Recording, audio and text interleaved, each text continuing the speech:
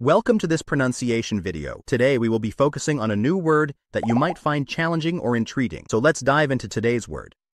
Charging, which means supplying electrical energy to a battery or electronic device. Let's say it all together. Charging. Charging. Charging. One more time. Charging. Charging. Charging.